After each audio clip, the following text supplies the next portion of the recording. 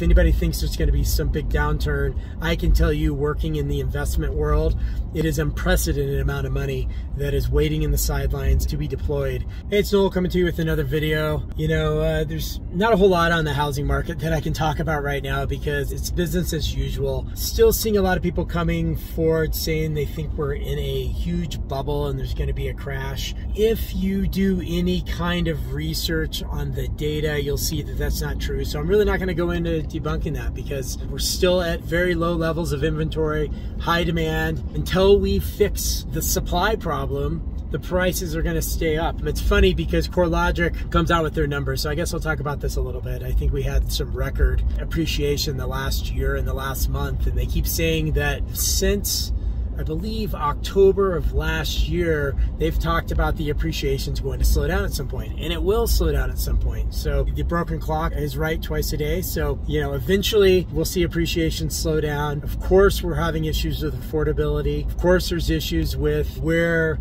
a lot of the lower income housing is going to come from. And I can tell you this, if we're relying on the government to do this, it's going to be not a very good outcome. What we can rely on the government to is maybe give some incentives to allow developers and investors to invest in more low income areas because I'm seeing that there are areas that could use the investment, but the cost of doing business is so high it's not worthwhile investing. So there you have it. You know, if anybody has any insight to this, I'd love to hear it. I've been a little bit busy, haven't had the time to do do that research on what kind of bills are in place, what kind of relief efforts are there. I've been hearing about some of the rental assistance money trickling, and I mean trickling down, and you know some of these uh, eviction moratoriums, and you know it's all coming to a head. And I'm going to talk about my next video where it is on the investment market. You know that's where I'm really kind of seeing the real estate market. It's tough to buy. We're seeing at least more people coming off the sidelines and selling, and that's going to perpetuate more because if now you can sell your house, it's usually because you have a house you can buy. And so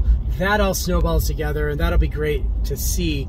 But the demand is there. If anybody thinks there's going to be some big downturn, I can tell you working in the investment world, it is unprecedented amount of money that is waiting in the sidelines to be deployed. And so that is going to keep prices from having a huge dip minus some local economic issues. Now what's going to happen next year and the year after with everything that's been happening with pandemics, who knows? But right now, it's uh, business as usual, and uh, there's a high demand for homes. Thanks for watching. Leave a comment. Love to hear your thoughts.